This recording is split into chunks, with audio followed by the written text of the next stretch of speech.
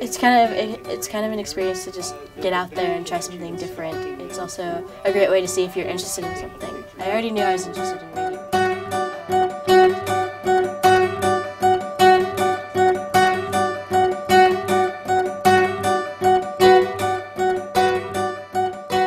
When people are doing what they're passionate about, they come up with really great ways to make a difference. Being the director of the Volunteer Center is more like being a, uh, a conductor and letting all the instruments play. Even after all these years, it's still surprising to me how creative people get. You name it, and there's a volunteer out there doing it. I, I really, really love doing this work and I love bringing new teams in. Everything your mother told you not to do as a little boy or a little girl, you get to do.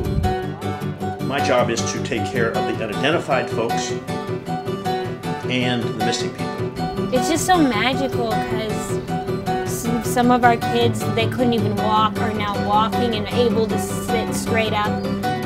It's, it's definitely a very mutual relationship when you're volunteering. You're both learning a lot and giving a lot back.